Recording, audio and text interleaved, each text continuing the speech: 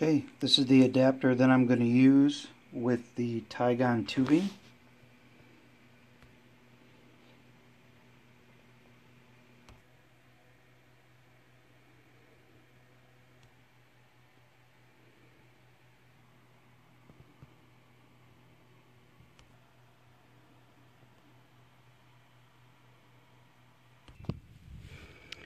leak test and leak test is looking good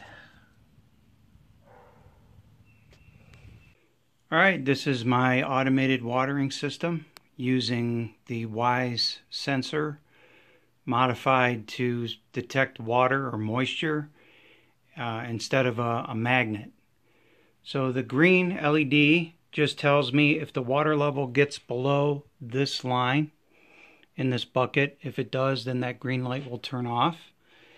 And this green light was just another moisture detector. These are just uh, simple level detectors that I made. And the two wires are seeing enough moisture to make the green light come on. So it turns out that the modified Wyze sensor, here it is, with two wires coming out of it. And all I did was just wire nut some stiff wire to it, and I stuck it at the other end in the soil. Then the other wire goes into another stiff wire into the soil. And I'm going to pull this out. You're going to hear a click, which opens this valve.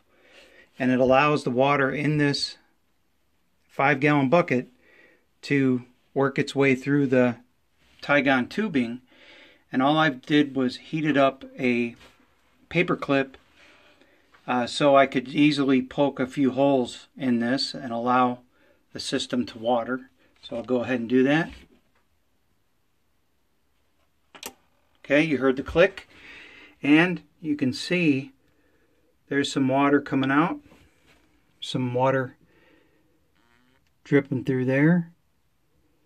And I've got a couple of spots in the back that are doing the same thing. And when this happens automatically, what's going to happen is the uh, when the the uh, dirt is moist enough, then this will complete the circuit again, just like this. And the Wyze sensor sends a signal, and I'm using IFTTT to tell this smart socket to turn on and off depending on what it sees from this Wyze sensor. And I'm just using a simple 12 volt DC supply to trigger the valve.